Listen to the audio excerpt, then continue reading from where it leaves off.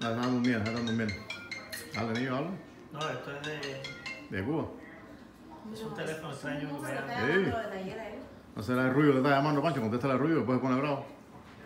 Es un número extraño de ayer, viejo. Sí. Dice que tú tienes bloqueado. Eh,